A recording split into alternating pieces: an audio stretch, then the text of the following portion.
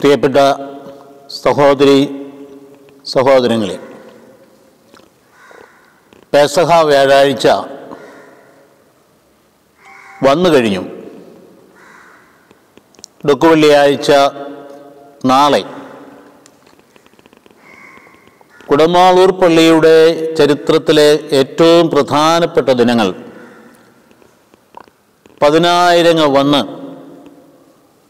പ്രാർത്ഥനയിലും ആരാധനയിലും നീന്ത് നേർച്ചയിലും മുൾമുടി ആണി നേർച്ചയിലും ഒക്കെ പങ്കു ചേർന്ന്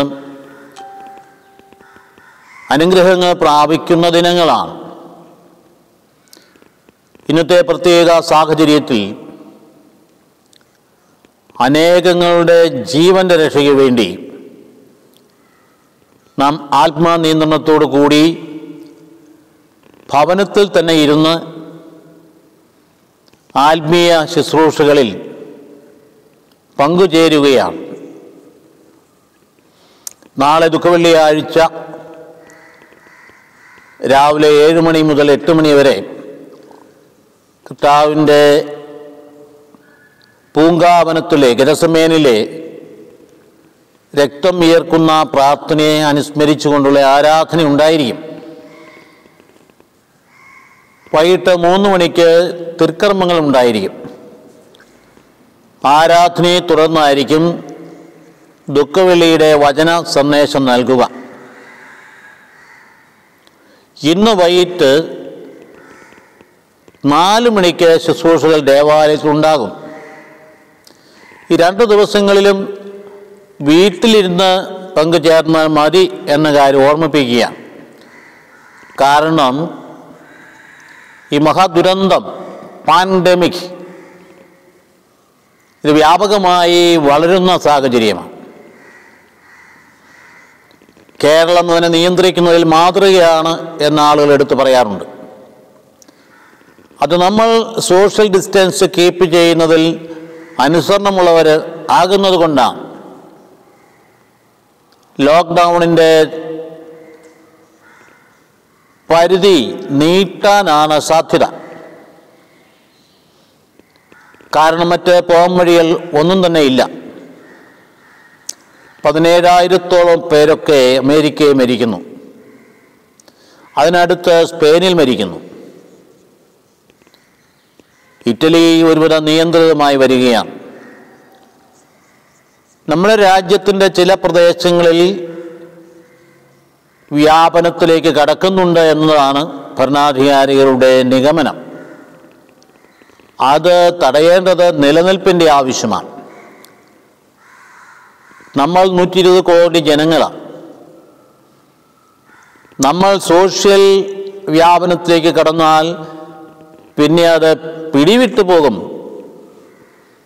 മരണസംഖ്യ പതിനായിരങ്ങളിൽ ഒന്നും നിൽക്കുകയില്ല എന്ന കാര്യം നാം ഓർക്കണം. അതുകൊണ്ട് സർക്കാരിന്റെ നിർദ്ദേശങ്ങൾ എന്തായാലും അത് അതേപടി സ്വീകരിക്കാൻ ഈ പെസഹ വ്യാഴാഴ്ച ദുഃഖവെള്ളിയാഴ്ച അനുഗ്രഹം പ്രാപിക്കട്ടെ എന്ന് പ്രാർത്ഥിക്കുകയാണ്.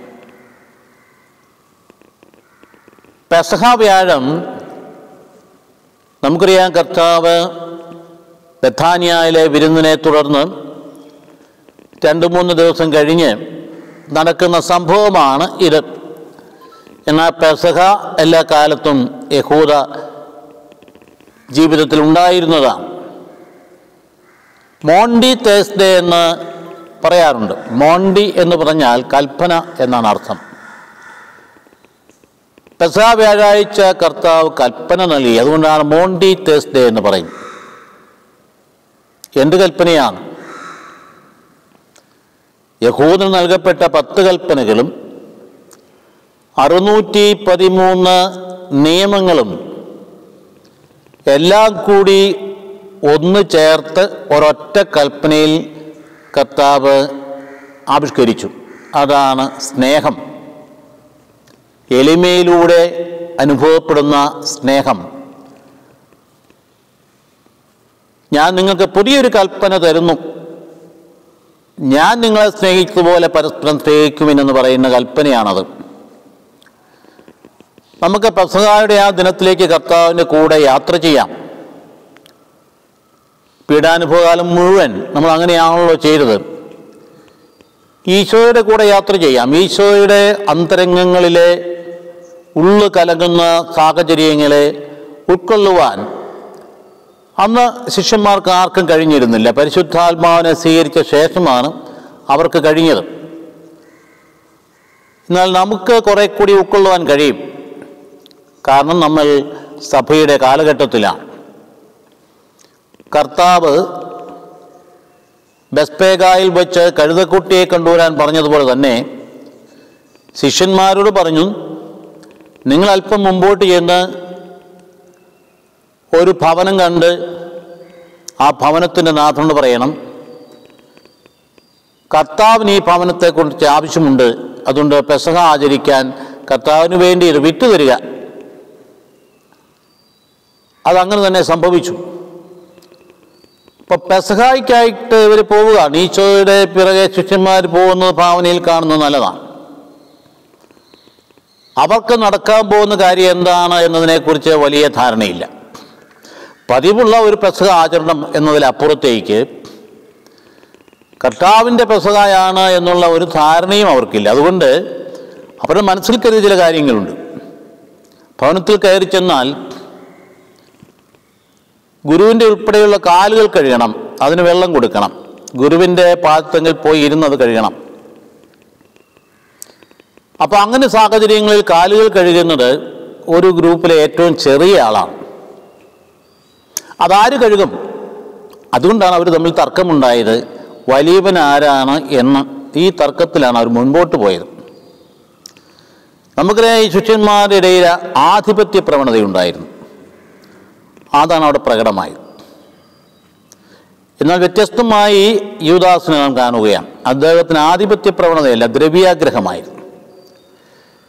എന്തായാലും ശരി പെസഹായുടെ ആ നിമിഷത്തിലേക്ക് നാം കടക്കുകയാണ്. ഈ വിവരണങ്ങളിൽ കാണുന്ന ഏറ്റവും ശക്തമായ പ്രതീകം യൂദാസ് തന്നെയാണ്.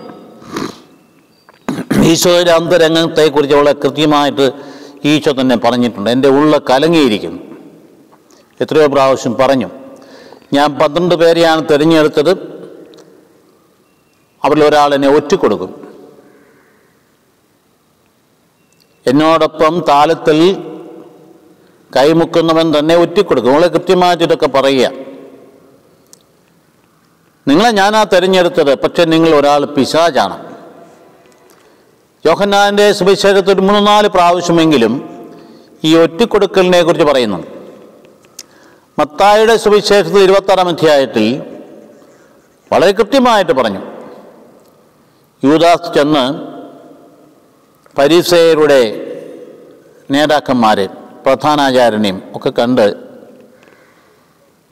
ഞാൻ നിങ്ങൾക്ക് ഗുരുവിനെ കാണിച്ചു തന്നാൽ നിങ്ങൾ എനിക്ക് എന്ത് തരും? എനിക്ക് എന്ത് തരും? അവർ പറഞ്ഞു മുപ്പത് വെള്ളിക്കാശ് തരും. അങ്ങനെ അവർ തമ്മിൽ കച്ചവട ധാരണയായി ഇവിടെ യൂദാസിൽ നാം കാണുന്നത് ദ്രവ്യാസക്തി മാത്രമല്ല വിശ്വാസം ഇല്ലായ്മ. രണ്ടാമത്തേത് ദൈവാശ്രയം ഇല്ലായ്മ. രണ്ട് മൂന്ന് കാര്യങ്ങളാണ്. ഈ ദ്രവ്യാസക്തി നമ്മളിൽ എല്ലാവരും ഉള്ളതാണ്. അതിന് പ്രത്യേക വ്യതിയാനങ്ങളൊന്നുമില്ല. സഭയിലാണെങ്കിലും വൈദികരിലായാലും അൽമായരിലായാലും സാമൂഹ്യ രംഗത്ത് ഭരണകർത്താക്കളിലായാലും ജനങ്ങളിലായാലും കുടുംബത്തിൽ കുടുംബനാഥനാരായാലും ദ്രവ്യാസക്തി ഉണ്ട്. ഒരു പരിധിവരെ അതൊരു ഇൻസെക്യൂരിറ്റി ഉള്ളത് കൊണ്ടാവാം അതായത് തങ്ങൾക്ക് ഭാവിയിൽ നിലനിൽക്കണമെങ്കിൽ പണം വേണം അതുകൊണ്ടാകാം. ഒരു പരിധിവരെയുള്ള ദ്രവ്യാസക്തി മനുഷ്യനിൽ നീതീകരിക്കാവുന്നതാണ്. പക്ഷേ പരിധി കഴിഞ്ഞ് അതിന്റെ മൂർത്തിമത്ഭാവത്തിലെത്തി നിൽക്കുന്നതാണ് യൂദാസ്ലം കാണുക. ഇപ്പം നാം ഒന്ന് പരിശോധിക്കേണ്ടതുണ്ട് നമ്മുടെ ഉള്ളിലുള്ള ദ്രവ്യാസക്തി ഏത് തലത്തിൽ വരെ എത്തി? ഞങ്ങൾ വൈദികരിലും ദ്രവ്യാസക്തി ഉണ്ടാകാം. ദൈവ വിളിക്ക് വേണ്ടി പണമോ സമ്പത്തോ നോക്കാതെ ജീവിതം ബലിയർപ്പിക്കുന്ന ആയിരങ്ങളാണ് ദൈവബിളികളായി നമുക്കുള്ളത്. അപ്പോൾ ദൈവവിളിക്ക് വേണ്ടി ജീവിക്കുന്നു. എന്നാൽ ദൈവവിളി കൊണ്ട് ജീവിക്കുന്നവരും പണസമ്പാദനത്തിനായിട്ട് അത് ഉപയോഗിക്കുന്ന ചുരുക്കം ചില വ്യക്തികളും ഇല്ലാതില്ല. ഇവിടെ നാം കാണുന്നത് യൂദാസ് ജന്മന തന്നെ ദൈവാഗ്രഹമുള്ള ആളായിരുന്നു. കർത്താവിന്റെ കൂടെ കൂടിയത് തന്നെ പണം ഉണ്ടാക്കാൻ വേണ്ടിയിട്ടായിരുന്നു. അതുകൊണ്ട് അദ്ദേഹം അസ്വസ്ഥനായിരുന്നു പലപ്പോഴും. മുന്നൂറ് ധനേറ വിലയുള്ള സുഗന്ധദ്രവ്യം കർത്താവിന്റെ കാലിൽ പൂശിയപ്പോൾ മറിയത്തോട് അദ്ദേഹത്തിന് അരിശം തോന്നി. ഇത് വിറ്റ് ദരിദ്രർക്ക് കൊടുക്കാൻ പാടില്ലേ? പക്ഷേ അദ്ദേഹം ചിന്തിച്ചതല്ല.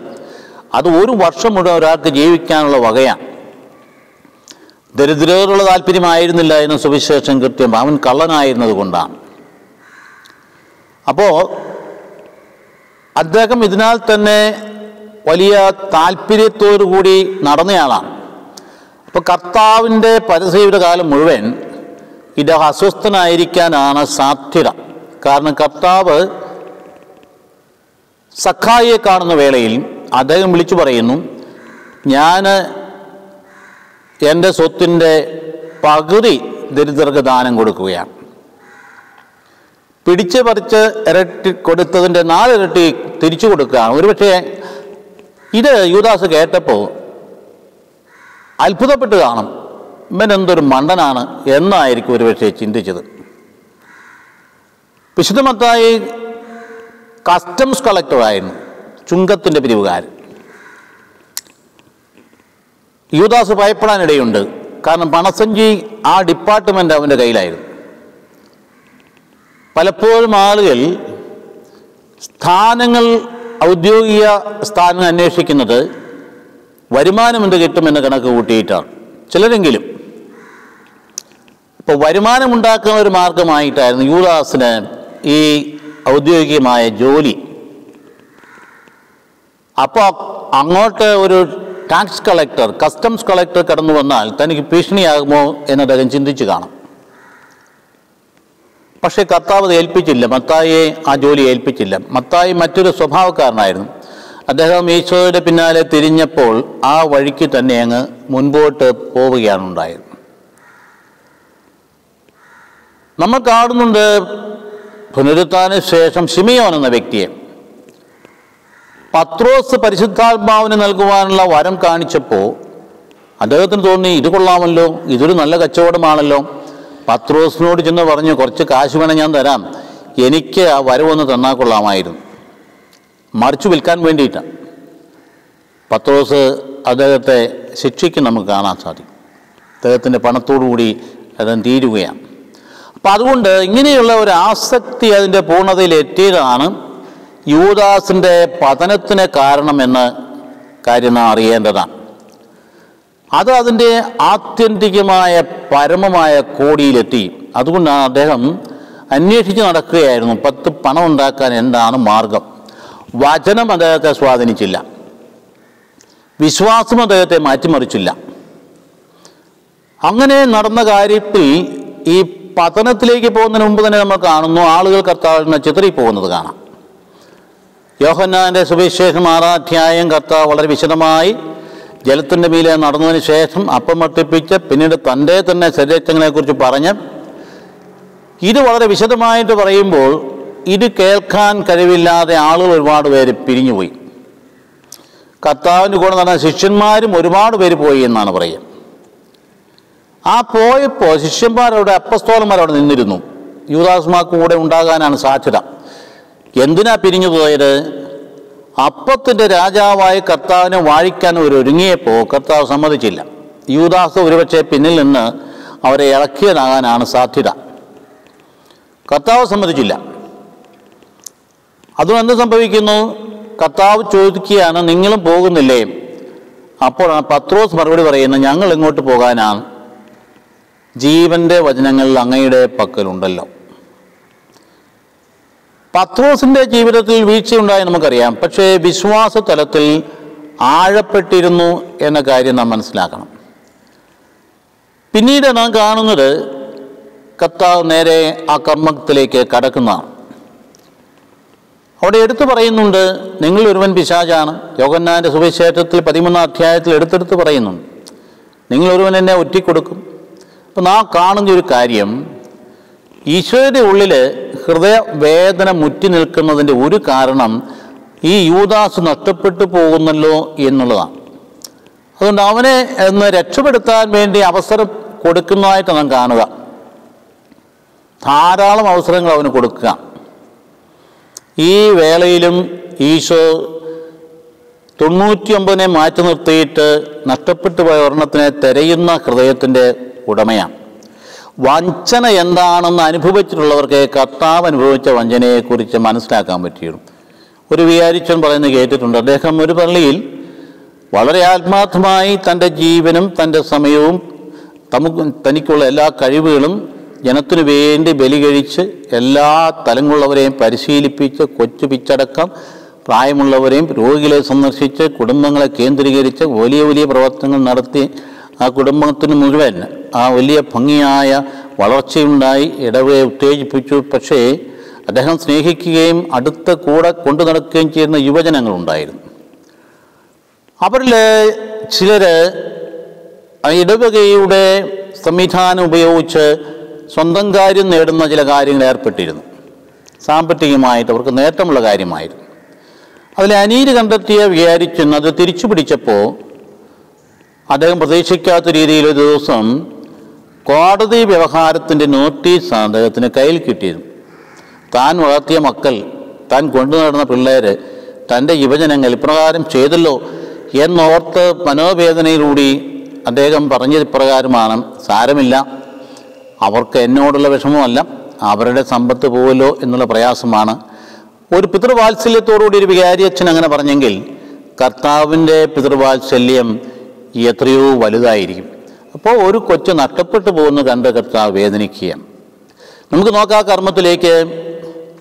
ഫുഷ്ടം ജയശീന കർമ്മം വിശദീകരിക്കുന്ന ഇപ്രകാരമാണ് കർത്താവ് ഇരുന്നിടത്തുനിന്ന് എണീറ്റു. ഷീൻ പറയുന്നു കർത്താവ് എണീറ്റത് സ്വർഗീയ തലത്തിൽ നിന്നാണ്. എണീറ്റിട്ട് തന്റെ മേലങ്കി മാറ്റി മേലങ്കി മഹത്വത്തിന്റെ വസ്ത്രമാണ്. അതായത് ദൈവം ഇറങ്ങി വരികയാണ്. ഫിലിപ്പിയാക്കാർക്കുള്ള ലേഖനത്തിന്റെ രണ്ടാം അധ്യായത്തിന്റെ അഞ്ച് തൊട്ട് പതിനൊന്ന് വരെയുള്ള വാക്യങ്ങൾ ഇവിടെ അന്വർത്ഥമാക്കുകയാണ്. അവൻ ദൈവത്തോടുള്ള സമാനത വകവയ്ക്കാതെ തന്നെ തന്നെ താഴ്ത്തി മനുഷ്യന്റെ സാദൃശ്യത്തിലായി. ഇവിടെ അവിടെ ഉണ്ടായിരുന്ന തോർത്തെടുത്ത അരയിൽ ചുറ്റി എന്ന് പറഞ്ഞാൽ മനുഷ്യന്റെ സാദൃശ്യത്തിലായി. അരയിൽ ചുറ്റി എന്ന് പറയുന്ന ഡീപിത്വത്തെ കാണിക്കുകയാണ്. തന്നെ തന്നെ താഴ്ത്തി കുരിശുമണ്ണത്തോളം താഴ്ത്തി എന്നാണ് പിലിപ്പിയാക്കൾ ലേഖനത്തിൽ പറയുക. വിശുദ്ധ കുർബാന അതെടുത്ത് ആവർത്തിക്കുന്നതുമാണ്. അതുകൊണ്ട് എല്ലാ നാമത്തേക്ക് ഉപരിയായ നാമം അവന് നൽകപ്പെട്ടു. ആകാശത്തിലും ഭൂമിയിലും പാതാളത്തിലും എല്ലാ മുഴങ്കാലുകളും അവന് മുമ്പിൽ മുട്ടുമടക്കുകയും ഈശോ കർത്താവാകുന്നുവെന്ന് എല്ലാ നാവുകളും ഏറ്റുപറയുകയും ചെയ്യുമെന്ന് ഈ തിരുവചന ഭാഗത്തും കാണുന്നുണ്ട്. ഷീൻ പറയുന്നു കർത്താവിന്റെ ഈ പ്രവൃത്തി രക്ഷാകര രഹസ്യം മുഴുവൻ പ്രതിഫലിപ്പിക്കുന്നതാണ്.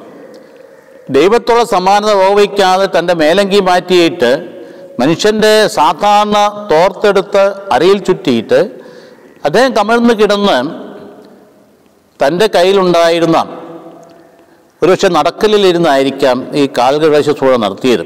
കാരണം യഹൂദന് ഈ പൊടിമണികൾ നടന്നു കഴിഞ്ഞാൽ വീട്ടിൽ വരുമ്പോൾ നടക്കല്ലിൽ വെച്ച് പാദങ്ങൾ കഴുകുക പതിവാണ്.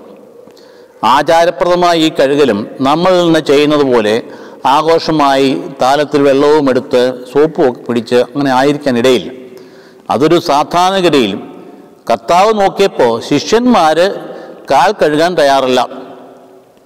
കർത്താവ് തന്നെ എടുത്ത് കർത്താവ് മുൻകൂട്ടി പ്ലാൻ ചെയ്ത് തന്നെയാണെങ്കിലും എടുത്ത് നടക്കല്ലിലെ ആളുകളെ ഇരുത്തിയിട്ട് കാൽ കഴുകി ഇരിക്കാനാണ് സാധ്യത. എന്തായാലും ശരി കാൽ കഴുകിയിട്ട് കർത്താവ് തോർത്തുകൊണ്ട് ആ പാദങ്ങൾ തുടച്ചു. ഇത് സാധാരണ ചെയ്യുന്ന ഒരു കാര്യമല്ല. ഇത് അടിമകൾ മാത്രം ചെയ്യുന്നതാണ് കാൽ കഴുകാൻ വെള്ളം കൊടുക്കുക മാത്രമേ ചെയ്യാറുള്ളൂ. ഇത് അടിമയുടെ ഭാവത്തിലേക്ക് തന്നെ തന്നെ താഴ്ത്തി എന്ന് പറയുന്ന കുരിശുമനത്തോളം താഴ്ത്തി എന്ന് പറയുന്ന അടിമയുടെ ആ സ്ഥാനത്തേക്ക് കർത്താവ് താഴ്ന്നു. അതിനുശേഷം പാദങ്ങൾ ചുംബിച്ചു. പിന്നീട് ഉള്ള ആ സംസാര കാര്യങ്ങളിലാണ്. നിങ്ങൾ ഒരുവനെ ഒറ്റിക്കൊടുക്കുമെന്ന് പറഞ്ഞു വരുമ്പോൾ പത്രോസും വിഷ്ണു ഉത്കണ്ഠയുണ്ടായി. ഉടനെ ഈശോയുടെ മാറിൽ ചാരിയിരുന്ന യോഹന്നാനോട് ആംഗ്യം കാണിക്കാൻ ആരാണെന്ന് ചോദിക്കാൻ പറഞ്ഞു സുൽത്താൻ ജേഷീൻ പറയുന്നു കർത്താവിന്റെ അടുത്തിരുന്നത് ആരായിരിക്കും? ഒരു വശ യോഹന്നാൻ ഇരുന്നുവെങ്കിൽ മറ്റേ സ്ഥലത്ത് അടുത്തിരുന്നത് ആരാണ് അത് കാൽക്കുലേറ്റ് ചെയ്തിട്ട് പറയുകയാണ് അത് യൂദാസ് തന്നെയായിരുന്നു. കാരണം കർത്താവിന്റെ തൊട്ടടുത്താണ് ഇരിക്കുക. അതുകൊണ്ടാണ് താളത്തിൽ എന്നോടൊപ്പം കൈമുക്കുന്നവൻ എന്ന് പറയാനിടയായത് കർത്താവിന് തൊട്ടടുത്തിരുന്നത് കൊണ്ടാണ്. കല്ലിനേക്കായിൽ കല്ലിച്ച ഹൃദയമായിരുന്നതുകൊണ്ട് ഈ പറഞ്ഞതൊന്നും യൂദാസിനിട്ട് ഏശയില്ല. കർത്താവ് ഇങ്ങനെ തന്നെ പറഞ്ഞു നീ ചെയ്യാനുള്ള വേഗം ചെയ്യാൻ പറഞ്ഞു. കർത്താവ് ഉദ്ദേശിച്ചതൊന്ന് ശിഷ്യമാർ മനസ്സിലാക്കി വേറൊന്ന്. തിരുനാളിന് വേണ്ട കാര്യങ്ങൾ വാങ്ങിക്കാനോ ദരിദ്രർക്ക് കൊടുക്കാനുള്ള കൊടുക്കാനോ പറഞ്ഞതായിരിക്കുമെന്നാണ് അവർ കരുതിയത്. ഒറ്റിക്കൊടുക്കുമെന്ന് പറഞ്ഞപ്പോൾ അവരൊന്ന് ഞെട്ടി. ഉടനെ അതാരാണ് കർത്താവ്? എന്ന് യോഹന്നാൻ ചോദിച്ചു. യോഹന്നാൻ മാത്രമല്ല മത്തായുടെ സുവിശേഷത്തിൽ എല്ലാ ശിഷ്യന്മാരും ചോദിച്ചു കർത്താവ് അത് ഞാനാണോ? അവസാനം യൂദാസും ചോദിച്ചു യൂദാസ് കർത്താവ് എന്നല്ല വിളിക്കുന്നത് റബ്ബി എന്നാണ് ഗുരു. ഇവിടെ ഒരു കാര്യം വ്യക്തമാണ്. പോലോസ്ലിയ കോടന്തോസാർക്ക് ലേഖനത്തിൽ പറയുന്നു പരിശുദ്ധാത്മാവിലല്ലാതെ ആർക്കും ഈശോ കർത്താവാകുന്നു എന്ന് പറയാൻ കഴിയുകയില്ല. ഇവിടെ യൂദാസിന് അത് സാധിക്കുകയില്ല. കർത്താവ് എന്ന് പറയാനായി. അപ്പം ഞാനാണോ റബ്ബി എന്ന് ചോദിച്ചെടുത്ത് കർത്താവ് പരസ്യപ്പെടുത്തുന്നില്ല. നോക്കി അവിടെ അവനെ രക്ഷിക്കുകയാണ്. നമ്മുടെ ഇടയിലൊക്കെ ആണെങ്കിൽ അപവാദങ്ങൾ പെട്ടെന്ന് പരക്കും. ഇല്ലാത്ത കാര്യം കൂടി പറയും. ഇവിടെ ഇത് ഉണ്ടായിട്ടും കർത്താവ് വീണ്ടും അത് പരസ്യപ്പെടുത്താൻ നിർത്തുക കാരണം ഒന്ന് മാം ഇവൻ രക്ഷപ്പെടുന്നെങ്കിൽ രക്ഷപ്പെടട്ടെ എന്നുള്ളതാണ് കർത്താവ് കരുതിയത്. പക്ഷെ അവനെന്ത് ചെയ്തു? അവൻ പെട്ടെന്ന് ഇറങ്ങി. കാരണം ഈ ഈശോയുടെ തൊട്ടടുത്തിരുന്നത് കൊണ്ട് ഇരിക്കപ്പെടുകയില്ല. അസ്വസ്ഥത അങ്ങ് മൂത്തു. മനസ്സമാധാനമില്ല. അത് ഇറങ്ങി പോവുകയാണ് ചെയ്തത്. അപ്പം അതുകൊണ്ട് ഇങ്ങനെയുള്ള സാഹചര്യങ്ങൾ നമ്മുടെയും ജീവിതത്തിൽ ഉണ്ടാകാവുന്നതാണ്. അസ്വസ്ഥത വരുന്നത് ദൈവത്തോട് വിശ്വസ്തത ഇല്ലാത്ത സാഹചര്യങ്ങളിലാണ് അപ്പോൾ അങ്ങനെ യൂദാസ് എണീറ്റ് പോയി. വീണ്ടും കർത്താവ് തുടരുകയാണ്. ശിഷ്യന്മാർക്ക് ഞാൻ നിങ്ങൾക്കൊരു പുതിയ കൽപ്പന തരുന്നു. ഞാൻ നിങ്ങളെ പാദങ്ങൾ കഴിയത് നിങ്ങൾക്ക് മാതൃകയാകാൻ വേണ്ടിയിട്ടാണ്. നിങ്ങൾ പരസ്പരം പാദങ്ങൾ കഴുകണം എന്ന് പറഞ്ഞ് എന്ന് പറഞ്ഞ് കർത്താവ് പഠിപ്പിക്കുകയാണ്. അതേ തുടർന്നാണ് നീ അപ്പമെടുത്ത് ആശീർവദിച്ച് മുറിച്ച ശിഷ്യന്മാർ കൊടുക്കുന്നത്. യുദാസ് പോകുന്നതിന് മുമ്പ് തന്നെ കൊടുത്തിരിക്കണം. ഇവിടെ നാം കാണുന്നു യഹൂദരുടെ പെസഹായുടെ ക്രമത്തിൽ തന്നെയാണ് കർത്താവ് ചെയ്യുന്നത്. യഹൂദർ പെസഹ എങ്ങനെയാണ്? കുടുംബനാഥൻ കുടുംബാംഗങ്ങളുമൊത്ത് ഇരിക്കും. ആദ്യത്തെ കപ്പ് വീഞ്ഞെടുത്ത് വാഴ്ത്തി പാനം ചെയ്യും. രണ്ടാമതായി പുളിക്കാത്ത അപ്പം മൂന്ന് കഷ്ണോട് വെച്ചിരിക്കും. അത് നടുക്ക് ഇരിക്കുന്നിടത്ത് മുറിക്കും. പിന്നീട് കൈപ്പുള്ള ഇലകൾ ഉപ്പിലോ വീഞ്ഞിലോ മുക്കി ഭക്ഷിക്കും. അപ്പോൾ അത് കഴിയുമ്പോൾ ഒരു ഇളയ കുട്ടി ചോദ്യങ്ങൾ ചോദിക്കും. രക്ഷാകര ചരിത്രം ഓർമ്മിപ്പിക്കാൻ വേണ്ടിയിട്ടാണ് എന്താ ചോദിക്കുന്നത്? എന്താണ് ഇതിന്റെ അർത്ഥം? ഈ പുളിക്കാത്ത അപ്പത്തിന്റെ അർത്ഥം എന്താണ്? പറഞ്ഞു കൊടുക്കും അത് ഈജിപ്തിൽ നിന്ന് പോയപ്പോൾ തിരക്കുണ്ടായിരുന്നത് കൊണ്ടാണ്. എന്തുകൊണ്ടാണ് ഈ കൈപ്പുള്ള ഇലകൾ അത് ഈജിപ്തിന്റെ പീഡനങ്ങളുടെ ഓർമ്മയാണ്. പിന്നെ എന്തിനാ അത് ഉപ്പിലും ഈ വീഞ്ഞിലും മുക്കുന്നത്? ഉപ്പിൽ മുക്കുന്നത് കഷ്ടപ്പാട് മാറുമെന്ന പ്രത്യേകിച്ചാണ് വീഞ്ഞിൽ മുക്കുന്നത് സമൃദ്ധിയുടെ അടയാളമാണ്. പിന്നെ എന്തിനാ ചാരിക്കിടക്കുന്നത്? അത് സ്വാതന്ത്ര്യത്തിന്റേതാണ്. അപ്പം ഇപ്രകാരം ഈ കപ്പ്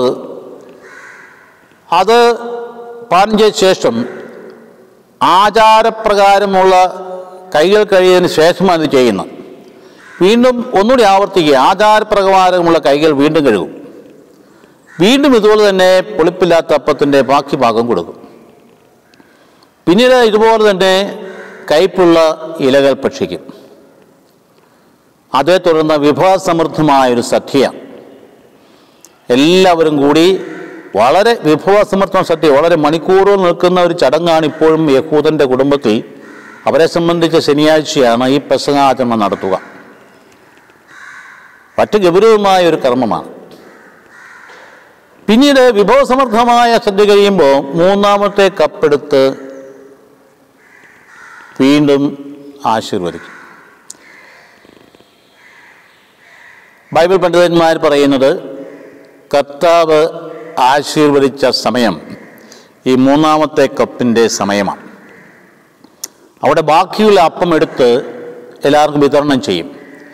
കർത്താവ് അപ്പത്തെ ആശീർവദിച്ചുകൊണ്ടാണ് ഇതെന്റെ ശരീരമാകുന്നു എന്ന് പറഞ്ഞത്. അവിടെയാണ് വിഞ്ഞിനെ തന്നെ തിരിച്ചങ്ങളാക്കി മാറ്റിയത്. തുടർന്ന് നാം കാണുകയാണ് നാലാമത്തെ കപ്പ വീണ്ടും ആശീർവദിക്കും. അങ്ങനെ സമൃദ്ധമായ വിഭവസമൃദ്ധമായ ഒരു ചടങ്ങാണ് പെസുകായ അവസാനം ഒരു കപ്പ് ഏലിയാട് വരവിന് വേണ്ടി കാത്തുവെക്കുകയും ചെയ്യും. ഇതാണ് യഹൂദന്മാരുടെ പെസഹാചരണത്തിന് ചടങ്ങ്. കൃത്യമായി നമുക്കറിയാം ഇത് കർത്താവ് നൽകിയ കൽപ്പനയാണ്. പുറപ്പാടിന്റെ പുസ്തകത്തിൽ നാം കാണുന്നുണ്ട് ഈജിപ്തിന്റെ അടിമത്തിൽ നിന്ന് പോകുന്നതിന്റെ ഓർമ്മയ്ക്കായിട്ട് ദൈവത്തിന്റെ പ്രവൃത്തി അനുസ്മരിക്കാൻ വേണ്ടി ദൈവം തന്നെ കൽപ്പിച്ചെറിയ കൽപ്പനയാണ്. നൂറ്റാണ്ടുകളിലൂടെ അത് തുടരുകയായിരുന്നു. അത് കർത്താവിലേക്ക് നിന്നപ്പോൾ പാപത്തിൽ നിന്ന് മോചനം പ്രാപിക്കാൻ വേണ്ടി ഈശോമിശിയ മോചനദ്രവ്യമായി തന്നെ തന്നെ നൽകുന്ന ആ വലിയ പെസക ഇന്ന് വിശുദ്ധ കുർബാന ആചരിക്കുന്ന ആ വലിയ പെസകായാണ് ആ ദിവസം കർത്താവ് നമുക്ക് വേണ്ടി ക്രമീകരിച്ചിരിക്കും. അപ്പം ഇതാണ് പെസഹ എങ്കിൽ അതിന്റെ അർത്ഥവ്യാപ്തിയിലേക്ക് നാം കൂടുതൽ കിടക്കുമ്പോഴാണ് എനിക്ക് വേണ്ടിയിട്ടാണ് കർത്താവ് ഇത് ചെയ്തത് തന്നെ തന്നെ നൽകിയതും. എന്നെ കൂടി രക്ഷിക്കാൻ വേണ്ടി കർത്താവ് വാത്സല്യത്തോടെ എന്നെ സമീപിക്കുന്നുണ്ട്.